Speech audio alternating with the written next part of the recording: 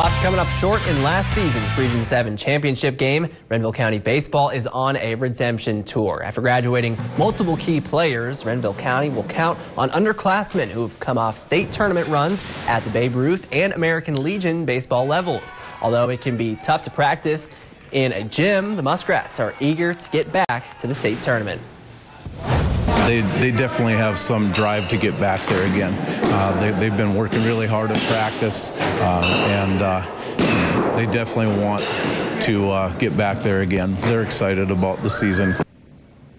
Returning for Renville County is junior Kellen Henry and Braxton Fitzsimmons, who will both be go-to guys on the bump. Fitzsimmons in the past has been second or third in the pitching rotation, but since the graduation of seniors, he takes over the role as team ace. Henry says going into this season, the team is full of confidence, especially with their experience on the state stage. We have a lot of momentum coming out of last summer with both of our Legion and Babe Ruth teams making it to state we lost a lot of seniors last year, three notable seniors, and uh, we have guys that can fill the position from the Babe Ruth team. So I think we should be able to fill the void nicely. Renville County is currently set to take the diamond April 11th as of now against Des Lacs Burlington.